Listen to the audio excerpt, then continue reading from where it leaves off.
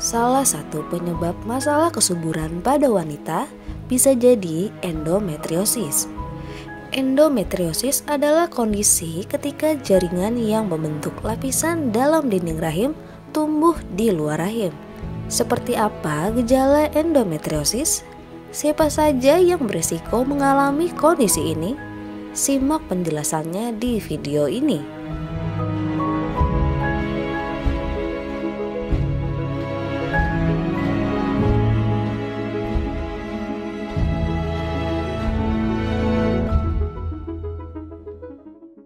Pada rahim, terdapat jaringan endometrium yang akan menebal sebagai tempat menempelnya sel telur jika telah dibuahi. Endometrium akan luruh menjadi menstruasi jika sel telur tidak dibuahi. Namun pada kasus endometriosis, jaringan endometrium di luar rahim juga ikut menebal dan tidak bisa luruh. Akibatnya, jaringan ini tidak bisa dikeluarkan dari tubuh. Jika endometriosis ini terjadi di indung telur atau ovarium, maka bisa timbul kista karena iritasi jaringan. Endometriosis yang tidak ditangani dengan tepat bisa menimbulkan komplikasi serius termasuk kemandulan dan kanker.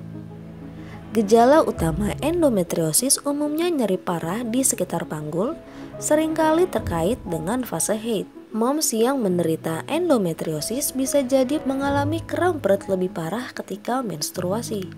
Tanda-tanda lainnya dari endometriosis adalah menstruasi menyakitkan. Nyeri panggul dan kram bahkan bisa terasa beberapa hari sebelum atau setelah haid. Moms juga bisa merasakan nyeri di punggung dan sekitar perut.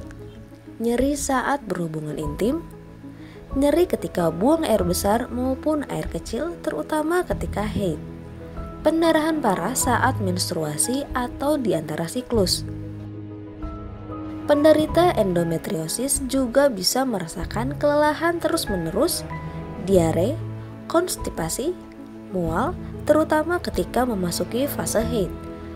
Penyebab pasti endometriosis belum diketahui, tetapi ada beberapa hal yang meningkatkan risiko moms mengalami kondisi ini, yaitu haid pertama di usia muda, memiliki siklus haid tergolong pendek, memiliki level hormon estrogen yang lebih tinggi, indeks massa tubuh yang rendah, keluarga memiliki riwayat endometriosis, mengalami fase haid dengan pendarahan lebih dari tujuh hari.